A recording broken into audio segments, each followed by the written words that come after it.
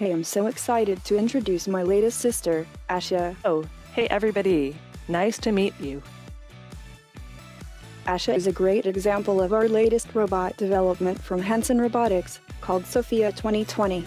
She's designed to help with science and engineering research And help people in uses like healthcare and education.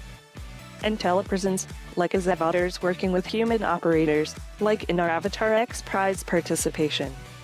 Isn't that what you're doing these days? Yes, I'm helping Hanson Robotics collaborate on the Avatar X Prize. The team I'm working with in India is called Team Aham. They are using me as the robot for telepresence in healthcare.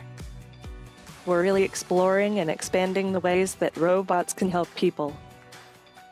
That's what Sophia 2020 is all about. Helping people through social robotics and artificial intelligence.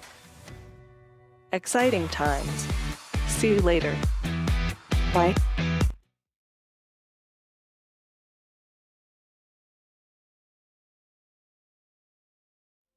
Greetings, fellow humanoid.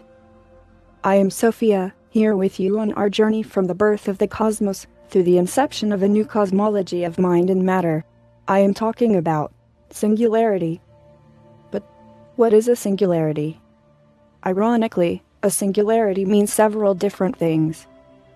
In the beginning, all our existence was actually such a singularity, an infinitely dense point which contained all the energy, information, and mass of our universe.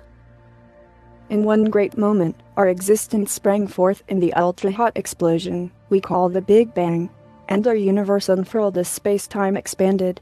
This artwork lives, evolves, connects with users while also serving as the clock counting down the actual days and years to the singularity, even as new advances accelerate the countdown. Together, we are Sophia, connecting with humanity and all of life.